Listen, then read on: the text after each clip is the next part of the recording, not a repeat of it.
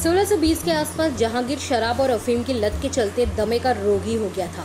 इस वजह से उसने सल्तनत के बागडोर नूरजहां को सौंप दी। जहांगीर से शादी के कुछ ही वक्त बाद नूरजहां ने अपना पहला शाही फरमान जारी किया, जिसमें कर्मचारियों की ज़मीन की सुरक्षा की बात कही गई थी। इस फरमान पर उनके दस्तखत थे नूरजहां बादशाह बेगम, इससे पता चलता है कि नूरजहां की ताकत कैसे बढ़ रही थी।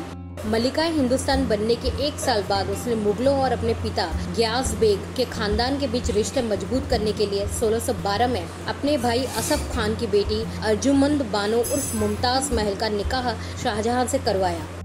नूरजहां के कहने पर जहांगीर ने अपने बेटे खुर्रम यानी शाहजहां को बड़ी फौज दी थी।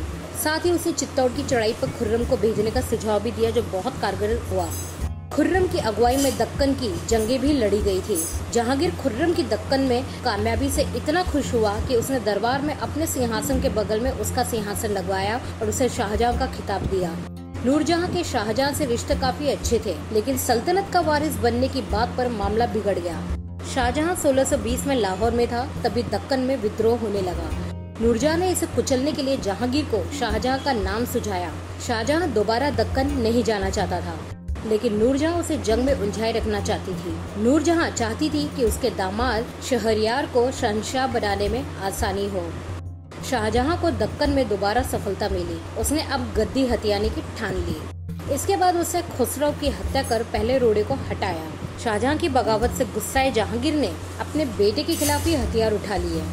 इधर शाहजहां ने दक्कन में अपने दुश्मन मलिक अंबर, उदयपुर के राणा करण सिंह और नूरजहां के भाई व अपने ससुर असफ खान को अपनी तरफ़ कर लिया था। हालाँकि युद्ध होने पर शाहजहां को जल्द ही एहसास हो गया कि वो जीत नहीं पाएगा। उसने जहांगीर से समझौता कर लिया। इस पर नूरजहां ने उसके दोनों बेटों औरंगज़ेब और दारा शिको को आगरा बुलवा लिया। शाहजहां के पास इसके अलावा कोई चारा नहीं था। एक बार फिर नूरजहां जीत गई।